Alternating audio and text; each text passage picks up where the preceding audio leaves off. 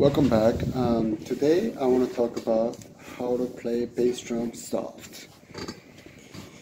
At the end, uh, our goal is play with dynamic, but uh, our challenge is playing soft than loud. Loud is easier; you can just push in, you know, just naturally.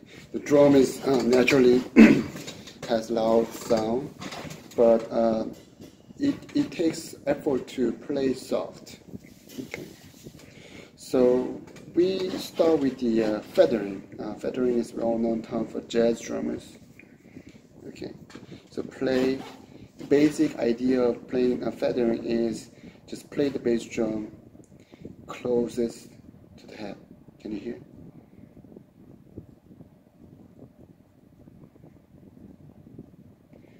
So you can just think of this distance between the head the beater and minimize pattern, minimize the distance.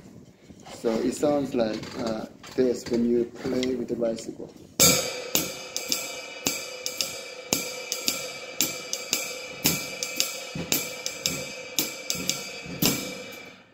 You know, one time uh, I was in New Orleans watching Preservation Hall uh, jazz band, uh, and I was amazed how they played such a low volume because there was a clarinet player, muted trumpet, and they are playing something like this.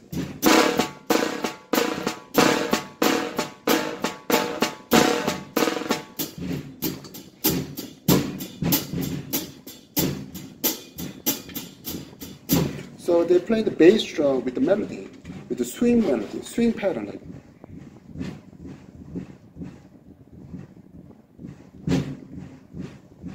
but amazingly soft. You can hear everybody whispering over the bass drum sound. I think I thought that was very uh, challenging and amazing to hear. Because normally bass drum is like super loud, uh, and sometimes we require that. But uh, can we play soft? That's the challenge. So the, after you doing the feathering, I would recommend practicing the uh, jazz pattern, maybe with the rhythm or without. So something like this.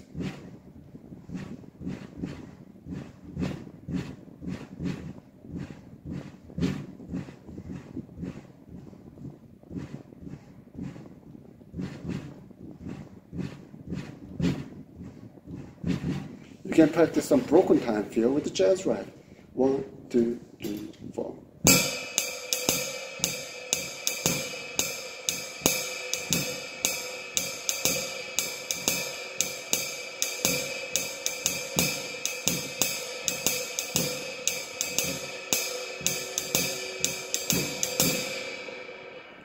And then you can uh, work on finally with an accent like this.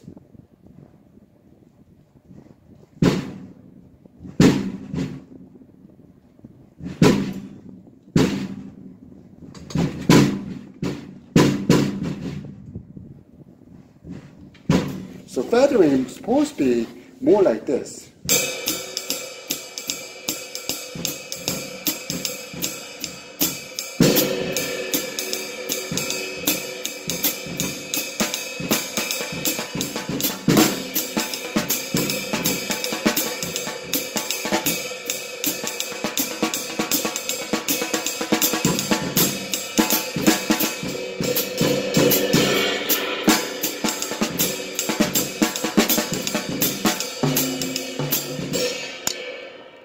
Now you can uh, play with the dynamic. Uh, I recommend work on like softest sound first. Once again, no muting the drums, no earplug. You know, just force yourself to, you know, put you put you in a situation where you just have to play soft. You know, in order to protect your own ears, you just have to practice everything soft. Even the, uh, you know, play the metronome without using earplugs. Live metronome. See if you can hear the metronome when you practice. You just have to play soft, right? Okay. That's it for today. Have fun practicing.